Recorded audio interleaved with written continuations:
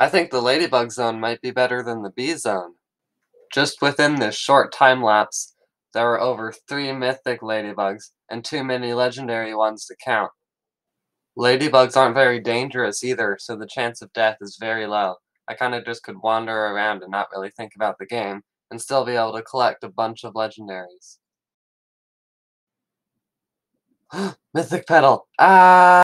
Ladybugs weren't the only mythic mobs. Here we had a lovely visit from a mythic hornet. And a mythic queen ant. What is that doing in the ladybug zone?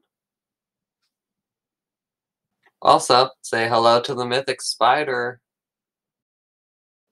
I was in the ladybug zone for about 45 minutes, and within that time, I managed to collect 138 legendary lights and 117 legendary roses, along with one mythic rose.